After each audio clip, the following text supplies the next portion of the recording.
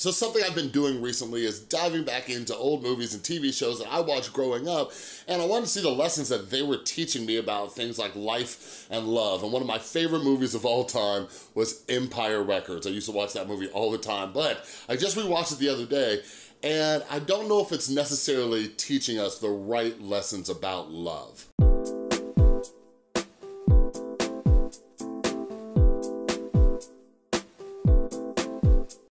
What is up, everybody? This is Chris from The Rewired Soul, where we talk about the problem, but focus on the solution. And if you're new to my channel, my channel is all about mental health, and it is designed for anybody who wants to improve their mental and emotional well-being. So if you're into that stuff, make sure you subscribe and ring that notification bell. So yeah, in this video, I'm gonna be talking a little bit about Empire Records, but before, before I do that, did you know that I, I just launched my website, therewiredsoul.com. I know I've been having it up forever, but it just went up. I'm trying to do daily blogs, so go check it out. It's linked down in the description. I'll put in the pinned comment as well. All right, but yeah, anyways, Empire Records. So I just watched it again the other night. I watched this movie like probably over a hundred times growing up. And first, let's do a little synopsis real quick. There's a bunch of characters in Empire Records, but I'm gonna be specifically talking about the relationship between AJ and Corey, okay? So quick little rundown. All right, so at the beginning of the movie, we see that AJ clearly is in love with Corey, and he goes to Joe to ask him for some advice and say, yo, Joe, you know, I'm in love with Corey, how do I tell her? You know, and Joe's handling his own thing with Lucas, and Joe's like, just tell her I love you. And then AJ is like pushing it off. He's like, you know what, I'm gonna do it by 137. I'm, 137, I'm gonna tell Corey that I love him love her, right? And basically, you see Corey's perspective, and Rex Manning's coming, and this is her celebrity crush since she was a child. She goes and she flirts with him. She wants to lose her virginity to him. Goes south. Anyways, she runs upstairs. AJ's up there. She's a mess, she's a wreck, she's crying, and AJ tells her at that point that he loves her, right? And she's like freaking out, still caught up in her head, and then AJ gets pissed, he goes away. Later on, Corey tries to come back and apologize and talk to him, he doesn't want anything to do with it. Movie goes on a bit. We find out that Corey is addicted to um, speed, which is like methamphetamines, and by the end of the movie, you know, Corey goes up there, she talks to AJ, and Corey's going off to college and AJ, he decides that he's gonna go to art school by her and they're gonna be in love and all that good stuff, all right?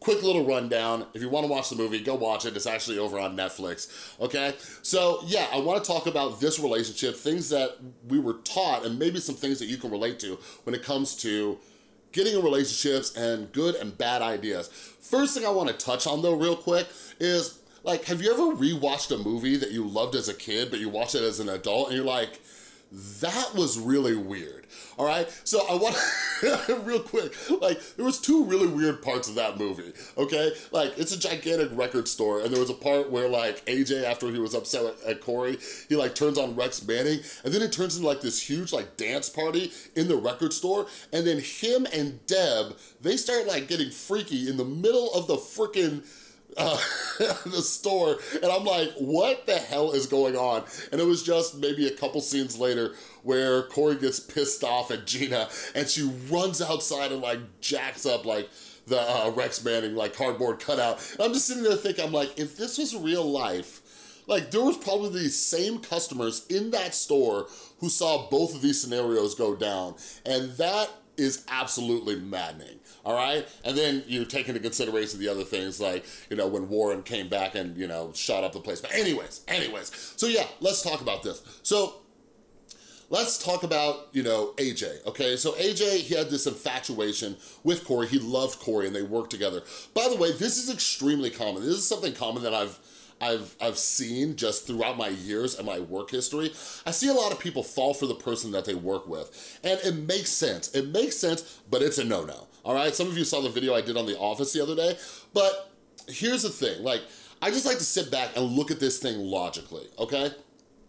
So when we're working at any type of office or store or whatever, we spend most of our day there, right? Eight, nine hours, unless you're working part-time, okay? So the people you're spending the most time with, you get the closest to.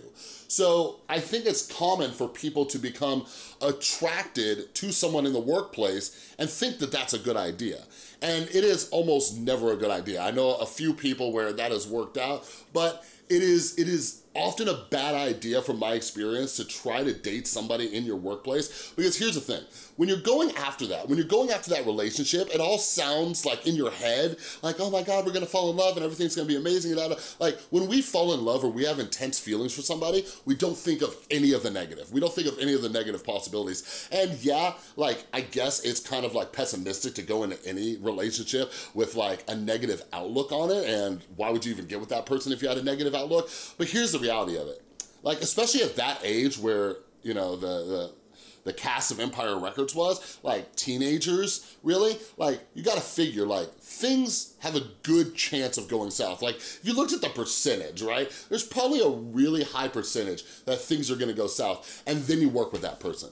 Now you work with that person, right? Like have any of you, any of you watching this, have you ever dated somebody at the office and then you guys broke up. And let me know if that became awkward or weird or strange or one of you actually had to leave the job because of this because that is one of the reasons why you don't date somebody at work. But again like I understand where that attraction grows because you're spending so much time with them all right? So anyways yeah AJ he like you know draws pictures of her. Obviously he's in love with her and everything like that. Well Corey she has this thing for Rex Manning okay and when she goes up there and she's completely distraught, it's right after, you know, whatever went down with Rex Manning. That was also a really weird scene, by the way. But anyways, the first thing that I want to talk about, when she goes up there and she um, tells AJ what just happened and she's like sobbing and in tears and stuff like that, like you can really see the selfishness in that scene because AJ, so when we talk about love, when we talk about being with somebody, like I stayed single for so, so, so, so, so long because I realized how selfish and self-centered I was. All I thought about was me and it was not fair to any other partner. That's why I often recommend people like, if you're struggling with mental health issues, like don't date until you get kind of your act together, right? And and you see in that, like AJ, if he truly loved her, if like, if this was a healthy love, when she came up there, and I know he had it set in his head to tell her that he loved her, but when she came up there, like she was clearly crying and everything, and he's like, no, I'm gonna tell her that I love her right now while she's crying and sobbing. It's like, no, no, no, no, no, no.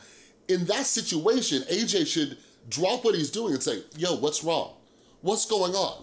You know what I mean? And talk with her about it rather than succumbing to his own selfish needs of, I need to tell her that I love her, okay?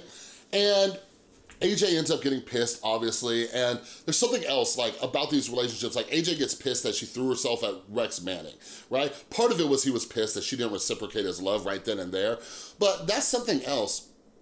That's a whole nother video thing, and maybe I'll talk about it when I start talking about Friends, where Ross is like, we were on a break, but just that, that kind of jealousy when you're not even together, you know what I mean? But it seems like this justified jealousy because you have such strong feelings. But the reality is when you're not together, that person is free to literally do whatever the hell they want, all right? So as the movie goes on and Gina and Corey get into this argument, we find out that Corey is addicted to um, methamphetamines, right? Like she is, or just amphetamines, maybe I think it was just amphetamines, but she's addicted to those and she uses them with the, you know, with the excuse that, you know, she has to study and things like that. And, and this is very common, by the way. Many college students become addicted to like things like uh, ADHD medications, like Adderall, Ritalin, things like that, just so they can study, just so they can cram, because they wanna, they wanna get good grades, or they wanna get into the best school, or whatever it is. But we find out that Corey clearly has a problem with that. So in the final scene where they, they come together, where they come together, like, this is just one of the things that I, I, I noticed, like, as an adult now, looking back on these movies, and this idea of love, right? So one of the things is that AJ says he's gonna move to another state just to be near Corey, right? He's gonna leave everything behind and just be near her. Like, this is often such a bad idea, right? When we when we sacrifice everything, especially at that age, like I really wanna talk about like that age, before the pre, the good old prefrontal cortex, the logical brain fully develops, like it's such a bad idea to drop everything and move there. Like, when I went up to college with my friend, one of the reasons that he went up there too was to chase after his high school sweetheart, and that went south real quick because she got to college. Maybe that's an entirely new video idea. She got to college and she saw all of the other options she had and she started cheating on him. And I'm not saying this is what always happens, but we really gotta think through before we're gonna move somewhere for somebody else. This is something that happens a lot though, even with adults, is that I've seen this countless times, countless, countless times, and I almost got into that situation myself many times where we have this like early kind of like honeymoon phase love and we're willing to do anything for them. We'll move for them, we'll go anywhere with them, you know, we'll let them move in with us or we'll move in with them or whatever it is in that very early stage.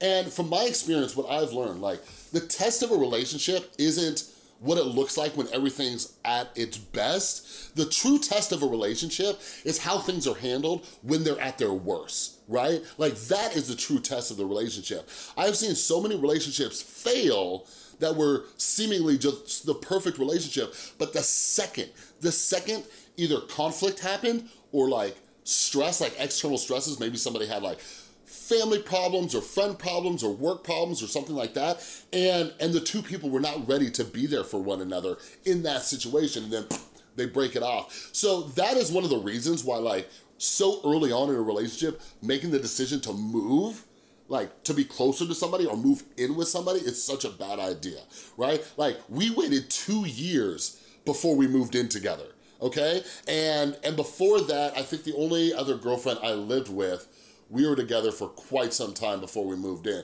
But that, that relationship was a hot mess anyways. The last thing I wanna touch on is people, people who date other people who are in active drug addiction. Like I'm a recovering drug addict for those of you who, you, who didn't get the memo. Like I am in recovery and I know that people can get sober. I know people can get clean, but to date somebody, to start dating somebody in their active addiction is the worst thing that you can do. It is the absolute worst thing that you can do. And something that was completely neglected was like AJ found out that Corey was addicted to drugs and then he's like, okay, I'm gonna move across the country for you. Like, what, dude? What? Like, I'm not saying Corey is a bad person in that situation. She's a sick person who is struggling with an addiction, but like that is that is either a neglecting the drug addiction or b this type of savior behavior but we see people do this hell i'll use my my own experience I had plenty of women date me knowing damn well that I was a hot mess. I was an alcoholic, I was a drug addict. There are some videos I've done in the past on codependency. Some people were dating me just because they wanted to fix me or just because they wanted to help me and things like that. And like, it wasn't fair of me to even allow them to date me, but like, these things, they, they do not end well. Like, I, I was telling, uh, I was telling uh, Tristan after we were watching the movie, like, one thing that they don't show you in these like romance, these uh, romance movies, like, is what happened like a week or two later, right? Or a month later, or three months later, right? Because I guarantee if you saw AJ and Corey's relationship a month or two later, it would be a hot mess. I would imagine things like AJ buying her drugs or fights happening all the time. You know what I mean? Especially with the amount of um, effort that Corey's putting into school. That's a whole nother topic, right? Like AJ's moving over there and you know how Corey is about school. Like Corey really doesn't have the time for a relationship, you know, unless she gets through that whole thing and there's some talk about her dad and the pressure he puts on her and everything like that. But anyways, like I, I'm, I really wanna look back at a lot of TV shows and movies and what they kind of teach us about love because like I mentioned in one of my other videos uh, announcing that I was gonna be covering movies and TV shows was that I was raised by TV and movies. They taught me about what love looks like. And in most cases, in most cases, they're unhealthy or unrealistic or both You know what I mean? So if you have any examples of movies and TV shows that you think show examples of unhealthy or unrealistic love that you want me to check out and maybe do some uh, videos on, let me know down in the comments below, all right? But anyways, that's all I got for this video. If you like this video, please give it a thumbs up. If you're new, make sure you subscribe and ring that notification bell. And don't forget, down below, brand new website, brand new blog posts. I'm trying to do it daily. Make sure you check those out, all right? So if you're new here, make sure you subscribe, ring the notification bell. Huge thank you to everybody supporting the channel over on Patreon. And if you would like to help support the channel and get some exclusive perks, benefits, get involved in our Q&A, click or tap right there, all right? Thanks again so much for watching. I'll see you next time.